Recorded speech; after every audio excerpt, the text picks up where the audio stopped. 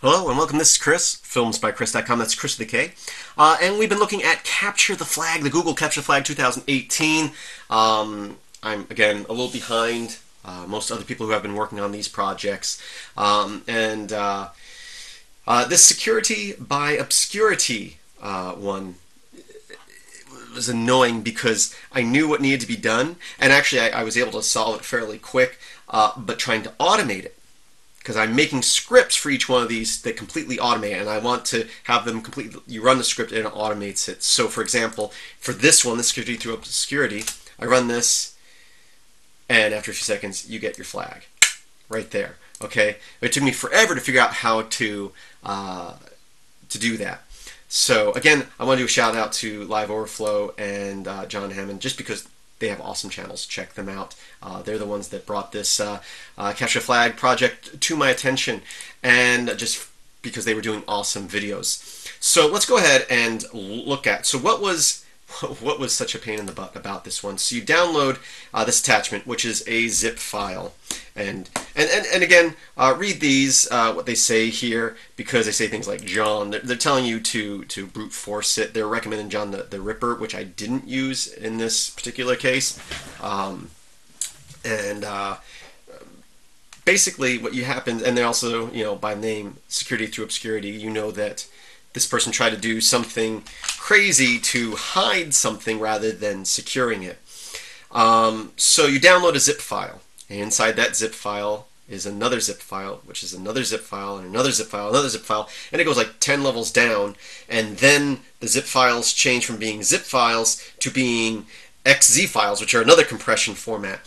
So uh, what I originally did was I tried using unzip. Now the annoying part is unzip is very particular about extensions. It wants your file to be .zip instead of just looking at the header of the file, which is how, in my opinion, it should work. It should go, oh yeah, this is a zip file, even if it doesn't have that extension. Well, when you extract these files, like we have the original zip file, we extract the file inside it, it is a zip file, but it isn't .zip.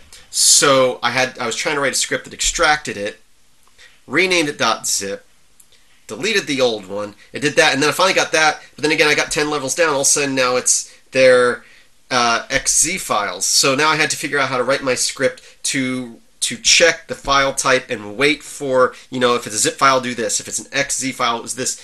And it was just becoming a pain in the button. And and the files, it, it's like it starts. It's like the alphabet.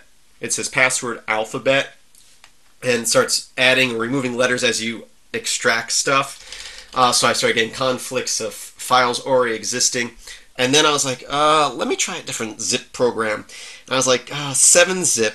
7-zip will extract both XZ files and zip files, so I don't need to change program I'm using. And luckily, it doesn't care what the extension is, so I don't have to worry about adding the extension. So let's go ahead and look at my script here real quick. Again, the first line here is just downloading uh, the original zip file, and I'm calling it pass1.zip.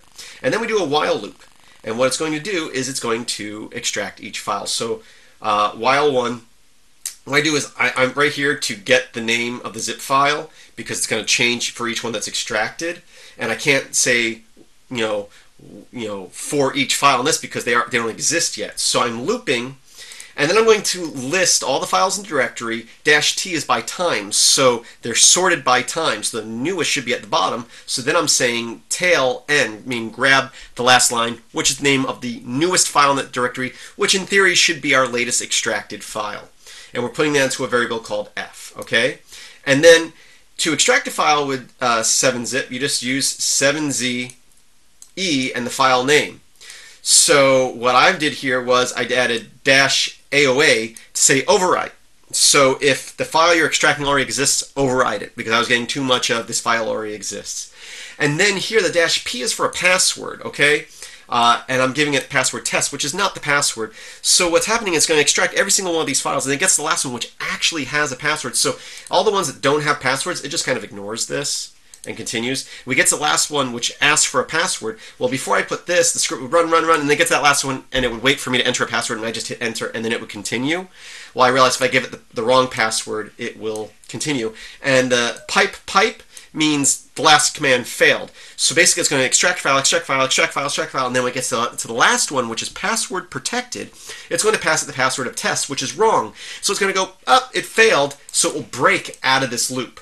Okay, and I also have it remove the previous file. So after it extracts the file, it removes it. But it continues extracting files until it pa passes the wrong password to that last one. Then it breaks out of the while loop and continues on. Now, I want to get, I want to crack the password on that last file, which after being extracted this way, you get a file called uh, password.x, which is a zip file. So I installed using aptitude or apt-get or apt, uh, I installed fcrackzip, which is for cracking zip files. And I assume with these beginner uh, uh, uh, Google capture the flags, when they ask for a password, it's usually something pretty simple. So I just told it to start um, with. There's an extra space in here that's bothering me. Boom. Okay. Um, we're saying to go through, and I'm basically saying brute force this. You know, start at AAAA, AAAB, AAAC, and we're saying start at four characters and go through up to eight characters and hopefully it will go pretty fast because brute forcing takes a long time. Uh, and luckily it did. The password ended up being uh, ASDF, so it's it's you know starts with an A, so it's caught pretty fast. Only takes a couple seconds.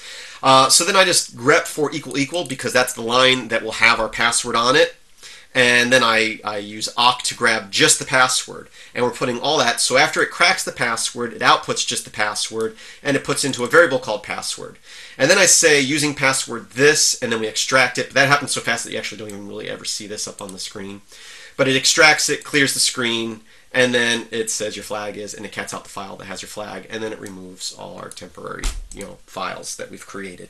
So again, let's go ahead and run that. So that's all the uh, the 7-zip output.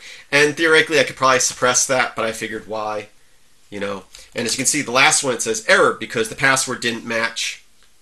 And then we brute force it. And because it starts with an A and it's only four digits, and that's where I started with cracking it, um, it only takes like half a second for it to get to ASDF. So anyway, I didn't use John the Ripper. I used that F crack, And actually, I, I looked at the fcrack uh, zip man page. And in it, I'm pretty sure if you go down to the bottom, there is a, could have sworn somewhere, oh here. Um, here they're talking about uh, a program that says it's an underperformance, FZC, which seems to be a widely used fast password cracker, claims to make uh, this many checks per second on my machine. Measures under plain DOS with Memory Manager. Uh, it's saying that this program, this fcrack zip file, uh, zip program, has been written in C and not assembler, so, I, so naturally it is slower. So they're saying there's another program out there that might be faster. Um, I, I, don't, I didn't look into it. This one worked fine. Uh, you know, it's slightly slower, 12% slower. You know, I don't know if this program uh, runs on anything but DOS. Cause did I read somewhere just a second ago it said it was in DOS? Anyway, um, you might get faster results if you really need to crack a password because brute forcing really takes forever. I went with brute forcing because the nature of this game was telling me that it was going to be a simple password. Anyway, again, go to uh, gitlab.com forward slash metalx1000 forward slash capital CTF you can get all my scripts for the automation of this that you can pick through. Uh, again, check out uh, John uh, Hammond's YouTube channel and Live Overflow just because they're awesome. You know, they didn't ask me to give them a shout out, but I am because their channels are awesome. Uh, I hope you learned something new. Again, this one was just a headache. This one was simple to do by hand, but then automating it became a headache until I just switched the tools I was using. So, you know, if you're stuck in, in a rut, try changing what you're doing. Anyway, I thank you for watching. Again, visit filmsbychris.com. That's Chris the K. There's a link in the description. Check me out on Patreon, patreon.com forward slash MetalX1000. Link in the description to that as well. Also on my page under support. Got patreon.com or PayPal if you want to support me that way. If you can't, be sure to like, share, and subscribe, comment, all that stuff because it does help with the views a little bit. And I, of course, at my website, you can search through both my channels for um, search Arduino. Yeah, whatever. Um, there we go. Uh, the my second channel is mainly on hardware stuff, and my website searches through both channels, so you can learn a lot there. Thanks for watching, and as always, I hope that you have a great day.